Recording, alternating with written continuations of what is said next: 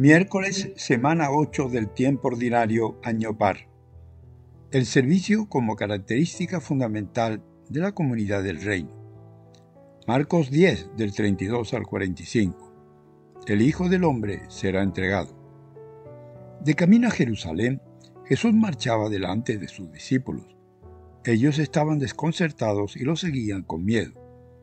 Y Jesús dice de nuevo a los doce, Estamos subiendo a Jerusalén y el Hijo del Hombre va a ser entregado a los jefes de los sacerdotes y a los maestros de la ley, que lo condenarán a muerte y lo entregarán a los extranjeros, que se burlarán de él, lo escupirán, lo azotarán y lo matarán. Pero tres días después resucitará.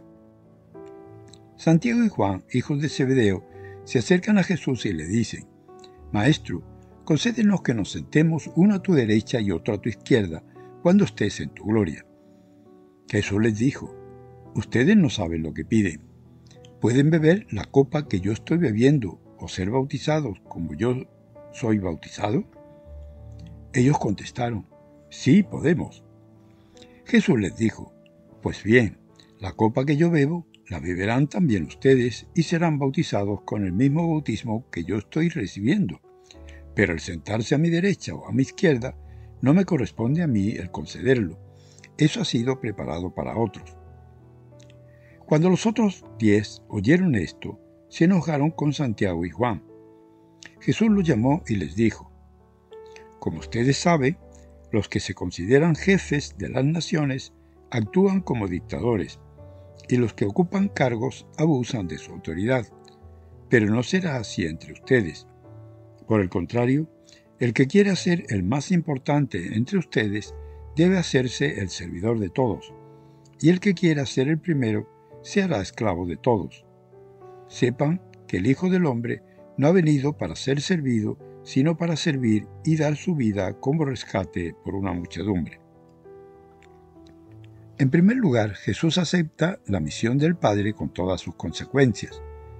Anuncia tres veces su pasión, pues quiere dejar bien claro a sus seguidores que su mesianismo no tiene nada de triunfalista, sino al contrario, será humanamente un fracaso rotundo. Pero a los discípulos les cuesta mucho entender eso. Jesús es consciente de los peligros que entraña su misión y acepta ese destino de sufrimiento sabiendo que las autoridades religiosas y políticas eliminan a todos los que se oponen a sus intereses. Asume con decisión y convencimiento la misión que le encomendó el Padre y sube convencido a Jerusalén aunque los discípulos le siguen con miedo. Les cuesta entender que el seguimiento de Jesús tenga esos contrastes de éxito mesiánico por un lado, por sus portentosos prodigios, y que por otro Jesús les diga que el Hijo del Hombre va a ser entregado a los jefes de los sacerdotes, que lo condenarán a muerte y lo entregarán a los extranjeros, que se burlarán de él, le escupirán, lo azotarán y lo matará, pero tres días después resucitará.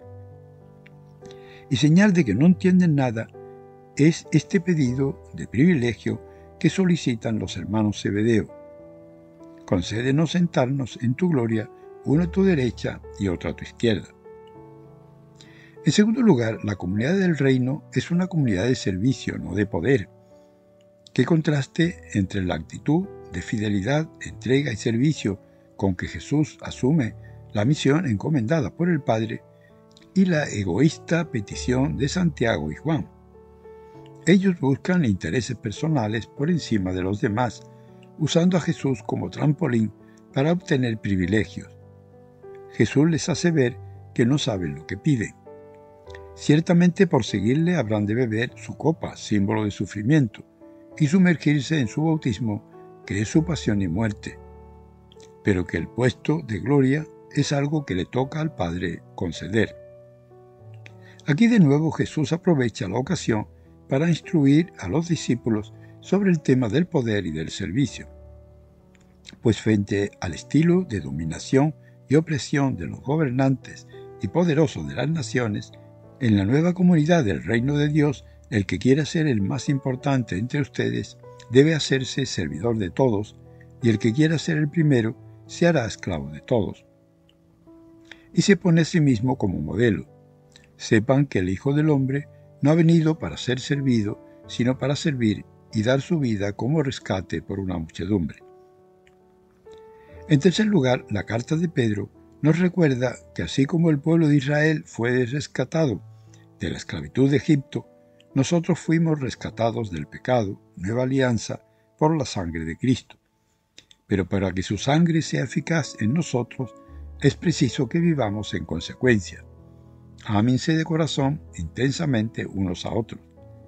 Miren que han vuelto a nacer, y no de un Padre mortal, sino de la palabra de Dios viva y duradera. Puede que también nosotros, como los discípulos, nos acercamos a Jesús con miedo por lo que pueda pasarnos si nos tomamos en serio seguir sus pasos. O como Santiago y Juan, si lo seguimos solo para sacar ventajas según intereses propios. Escuchemos lo que Jesús nos responde y el modo al que nos invita a vivir en comunidad del reino.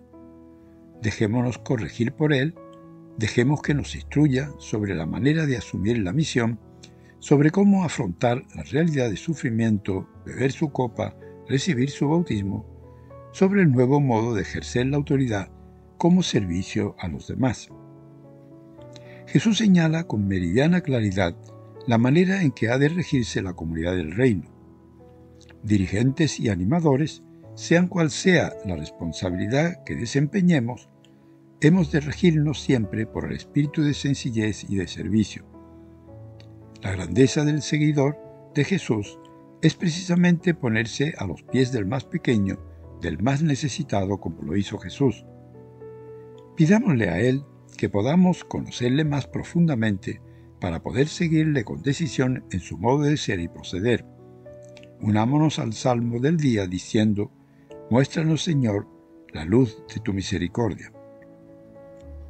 Rescatados al precio de la sangre de Cristo, como dice Pedro, vivamos en coherencia a su palabra, el Evangelio de Jesucristo, y alabemos al Señor por la palabra que nos salva. Glorifica al Señor Jerusalén. Les saluda y bendice en el nombre del Padre, del Hijo y del Espíritu Santo, y Mariano.